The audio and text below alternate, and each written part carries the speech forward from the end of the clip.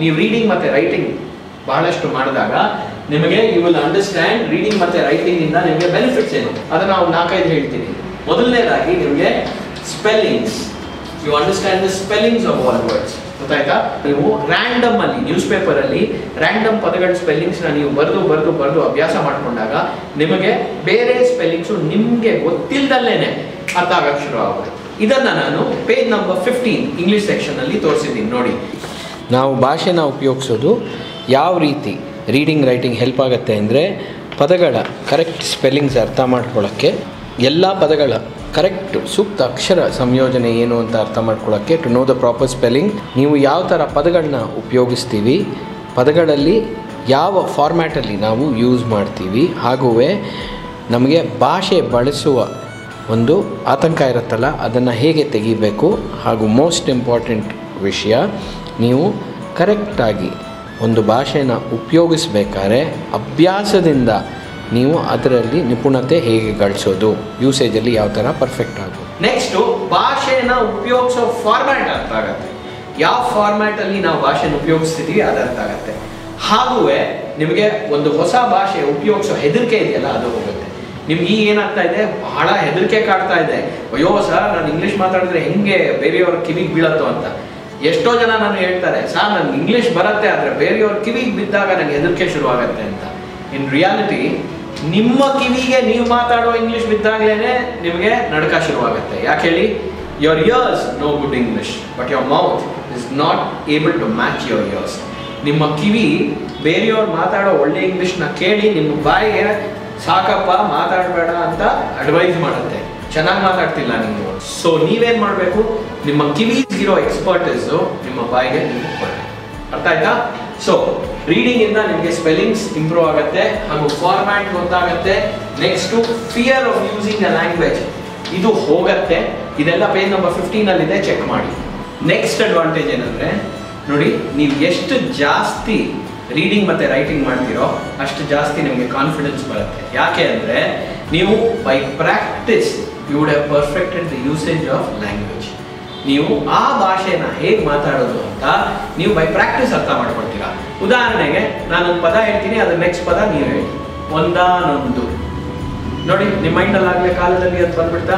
ಯಾಕೆ ಅಂದರೆ ಕೇಳಿ ಕೇಳಿ ಕೇಳಿ ಎಷ್ಟು ಅಭ್ಯಾಸ ಇದೆ ಅಂದರೆ ನೀವು ಒಂದಾನೊಂದು ಅಂದಾಗ ಕಾಲದಲ್ಲಿ ಅಂತ ನಾನು ಹ್ಯಾವ್ ಅ ನೈಸ್ ಡೇ ಅಂತ ಬಂದ್ಬಿಡತ್ತೆ, ಅಲ್ವಾ? ಸಿ ಯು ಟುಮಾರೋ ಇದೆಲ್ಲ, ಈ ಫ್ರೇಸಸ್ ಎಲ್ಲ ನಿಮಗೆ ಬೇಗ ಅರ್ಥ ಬೇಗ ಯೂಸ್ ಮಾಡೋಕ್ಕೆ ಬಾಯಿಗೆ ಬರುತ್ತೆ.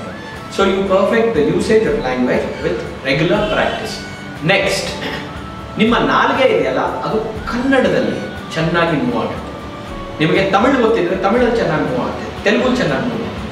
ಇವಾಗ ನಾನು ರೆಗ್ಯುಲರ್ ಆಗಿ ತಮಿಳು ಮಾತಾಡಿದ್ರೆ ನಾನು ಏನಂತೀನಿ ಅವ್ರಿಗೆ ಸೊಲ್ಲಿಡ ನಾಡಿಗೆ ಬರೋದಕ್ಕೆ ನಾನು ಹಿಂಗೆ ಬರಮಾಟೆ ಅಂತ ನೋಡಿ, ಎಷ್ಟು ಬೇಗ ಆ ಲ್ಯಾಂಗ್ವೇಜ್ ಪ್ರಕಾರ ಮೂವ್ ಆಗುತ್ತೆ. ನಾನು ತೆಲುಗು ಮಾತಾಡಿದ್ರೆ ಡೆಫಿನೆಟ್ಲಿ ಮ್ಯಾಮ್ ಕ್ಲಾಸ್ ఉంది ಟೆನ್ ತರ್ಟಿ ಕ್ಲಾಸ್ ఉంది ಅಂತ ನನಗೆ ಗೊತ್ತಿರೋ ತೆಲುಗುನ ಎಷ್ಟು ಬೇಗ ಬೇಗ ನಾನು ಮಾತಾಡೋಕ್ಕೆ ಪ್ರಯತ್ನ ಪಡ್ತೀನಿ ಅರ್ಥ ಆಯ್ತಾ ಆದರೆ ನಾನು ಇಂಗ್ಲೀಷ್ನಲ್ಲಿ ಮಾತಾಡಿದಾಗ ಸ್ಪೆಷಲಿ ನಾನು ಬರೀ ಕೇಳಿಸ್ಕೊಂಡು ಕೇಳಿಸ್ಕೊಂಡು ಏಯ್ಟಿ ಪರ್ಸೆಂಟ್ ಕೇಳಿಸ್ಕೊಂಡು ನಾನು ಮಾತು ಆಡದೇ ಇರೋ ಟೈಮಲ್ಲಿ ನಾಲ್ಗೆ ಮೂಮೆಂಟ್ ಆಗಲ್ಲ ನಾ ಅದಕ್ಕೆ ನಿಮಗೆ ರಿಕ್ವೆಸ್ಟ್ ಮಾಡ್ತೀನಿ ಆದಷ್ಟು ನೀವು ರೀಡಿಂಗ್ ಮಾಡಿ ರೈಟಿಂಗ್ ಮಾಡಿ ನಾಲಿಗೆ ಭಾಷೆ ಪ್ರಕಾರ ಮೂವ್ ಆಗುತ್ತೆ ಹಾಗೂ ಸರ್ಟನ್ ರೂಲ್ಸ್ ಇದೆ ಇದು ನಿಮ್ಗೆ ಯಾರು ಹೇಳ್ಕೊಡಲ್ಲ, ಯಾವ ಪುಸ್ತಕದಲ್ಲೂ ಇದಾಗಿಲ್ಲ ಬಟ್ ನಾನು ನಿಮಗೆ ತೋರಿಸ್ಕೊಡ್ತೀನಿ. ಈ ರೂಲ್ಸ್ ಏನು? ಮೊದಲನೇದಾಗಿ ಸ್ಟಿಫ್ ಅಪ್ಪಲ್ ಲಿಪ್ ನಿಮ್ಮ ಅಪ್ಪಲಿಪ್ ಇದೆಯಲ್ಲ, ಅದು ಮೂವ್ ಆಗಬಾರ್ದು. ಓನ್ಲಿ ಜಾ ಶುಡ್ ಮೂವ್ ಲೋ ಜಾ ಚೆನ್ನಾಗಿ ಮೂವ್ ಆಗಬೇಕು ಇಂಗ್ಲೀಷ್ನಲ್ಲಿ ಇಂಡಿಯನ್ ಲ್ಯಾಂಗ್ವೇಜಸಲ್ಲಿ ನಾವು ಈ ಥರ ಮಾಡ್ತೀವಿ. ನಮ್ಮ ಮೌತ್ ಓವಲ್ ಶೇಪಲ್ಲಿ ಮೂವ್ ಆಗುತ್ತೆ. ನಾವು ಅವ್ನು ಹೇಳೋ ಬರಕ್ಕೆ ಅಂತೀವಿ. ನೋಡಿ, ಬಾಯ್ ಓಪನ್ ಮಾಡ್ಕೊಂಡು ಮಾತಾಡ್ತೀವಿ ಇಂಡಿಯನ್ ಲ್ಯಾಂಗ್ವೇಜಸಲ್ಲಿ ಕನ್ನಡ, ಹಿಂದಿ, ತಮಿಳ್ ತೆಲುಗುಲಿ ಆದರೆ ಇಂಗ್ಲೀಷ್ನಲ್ಲಿ ಡೋಂಟ್ ಮೂವ್ ಯು ಅಪ್ಪಲ್ ನೀವು ಬರೀ ಲೋ ಜಾಬ್ ಮೂವ್ ಮಾಡಿ. ನೆಕ್ಸ್ಟ್ ನೀವು ಟೀಚ್ ಟುಗೆದರ್ ಇಟ್ಕೊಳ್ಳಿ.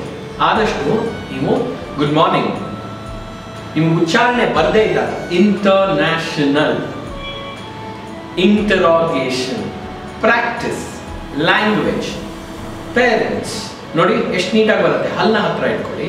ಹಾಗೂ ಪರ್ಸ್ ಲಿಪ್ಸ್ ಪರ್ಸ್ ಲಿಪ್ಸ್ ಅಂದರೆ ನೀವು ಹ ಅಂತ ಮಾಡಬೇಡಿ. ಓವಲ್ ಶೇಪ್ ತರಬೇಡಿ. ಪರ್ಸ್ ಲಿಪ್ಸ್ ಇಂಟರ್ನ್ಯಾಷನಲ್ ನನ್ನ ನನ್ನ ಕ್ಲಾಸಸ್ನಲ್ಲಿ ತೋರಿಸ್ಕೊಡ್ಬೇಕಾದ್ರೆ ಹಿಂಗೆ ಇಟ್ಕೊಳ್ಳಿ ಅಂತೀವಿ ತಪ್ಪೇನಿಲ್ಲ, ಹಿಂಗೆ ಇಟ್ಕೊಳ್ಳಿ. ಹಿಂಗೆ ಇಟ್ಕೊಂಡು ಇಂಟರ್ನ್ಯಾಷನಲ್ ಲ್ಯಾಂಗ್ವೇಜ್ ಪೇರೆಂಟ್ಸ್ ಓಕೆ ನೋಡಿ ಇಲ್ಲಿ.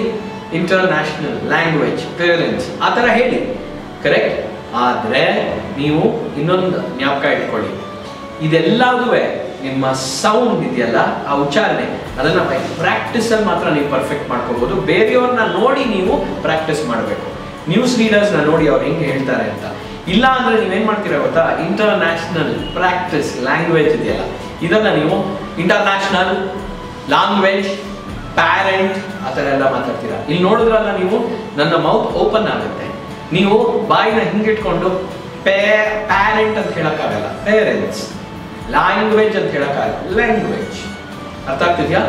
ಇದು ಹನ್ನೆರಡು ವರ್ಷದಲ್ಲಿ ಸ್ಕೂಲಲ್ಲಿ ಹೇಗೆ ನಿಮಗೆ ಪರ್ಫೆಕ್ಟ್ ಮಾಡ್ತಾರೋ ಫೊನೆಟಿಕ್ಸ್ ಅಲ್ಲಿ, ಭಾಷೆನ ಯಾವ ರೀತಿ ಸೌಂಡ್ಸ್ ಮೂಲಕ ನಾವು ಪ್ರಯೋಗಿಸ್ತೀವಿ, ಅದನ್ನ ನಾನು ಮೂರೇ ರೂಲ್ ಅಲ್ಲಿ ತೋರಿಸ್ಕೊಡಕ್ಕೆ ಪ್ರಯತ್ನ ಪಡ್ತಾ ಇದ್ದೀನಿ. ಇದು majority ninety nine point nine percent work ಆಗುತ್ತೆ, ಧೈರ್ಯವಾಗಿ ಉಪಯೋಗಿಸಿ. ಸರಿಯಾ? ಸೊ ವೀಕ್ಷಕರೇ, ಇವತ್ತು ನೀವು ರೀಡಿಂಗ್ ಮತ್ತೆ ರೈಟಿಂಗ್ ಸ್ವಲ್ಪ ಬೆನಿಫಿಟ್ಸ್ನ ಅರ್ಥ ಮಾಡ್ಕೊಂಡ್ರಿ. ಇದ್ರ ಜೊತೆಗೆ ನಾನು ನಿಮಗೆ ಲಿಸ್ನಿಂಗ್ ಬೆನಿಫಿಟ್ಸ್ ಹೇಳ್ಕೊಡ್ಬೇಕು. ಅದನ್ನ ನಾನು ನೆಕ್ಸ್ಟ್ ಕ್ಲಾಸ್ನಲ್ಲಿ ತೋರಿಸ್ಕೊಡ್ತೀನಿ. ಮರೀದಲ್ಲೇ ವೀಕ್ಷಿಸಿ. Till the next class have a nice time